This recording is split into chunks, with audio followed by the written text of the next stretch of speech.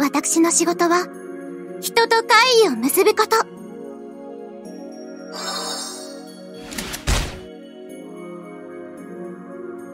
人でも怪異でもない、カンプ者の私を、そばに置いていただけるのですね。ありがとうございます、園長様。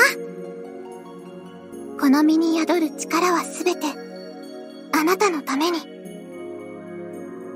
私の仕事は、悪しき怪異を断つこと。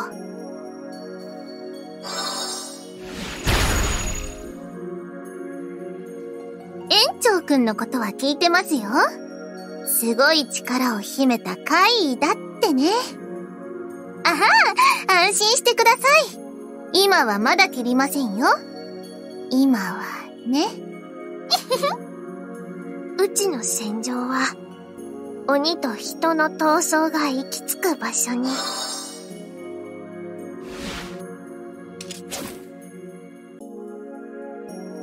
黒騎士と一緒なら、人間と仲良くする方法もきっと見つかるよな。えへへ。これからよろしく頼むぞ杖の仕事は、より良き世界のために、怪異を打つこと。誰もが笑顔で暮らせるよう作るために、杖も微力ながら協力させてもらいます。一緒に頑張りましょう僕の戦場は、恨み恐れた、期待のさえずり。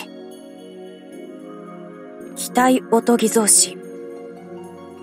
鬼を宿し、化粧と化した伝承、牛御前。連れ出されたところで、僕は何も期待せず、何も求めることはないよ。